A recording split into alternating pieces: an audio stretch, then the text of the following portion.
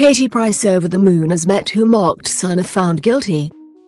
Katie Price has said she is over the moon after a group of Metropolitan Police officers were found guilty of making fun of her son Harvey in WhatsApp messages.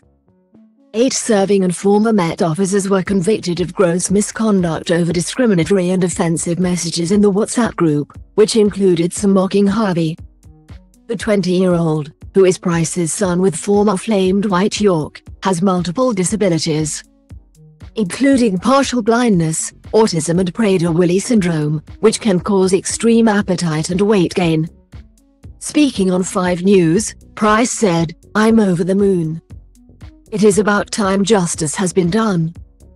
Not only that they are professionals that we trust, we should trust who have done this and it's about time and now an example is going to be put out there and something is going to be done.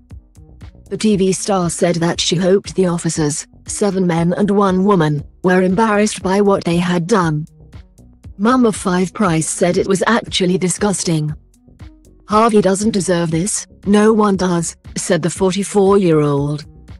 The star previously said that she was shocked and upset when she learned of the WhatsApp group. Speaking to ITV News London in February, she said those involved needed to be punished. It really does upset me but I have to be strong because I've got five children and the other four will read about this and I have to be strong for Harvey. It's shocking, it upsets me, she said.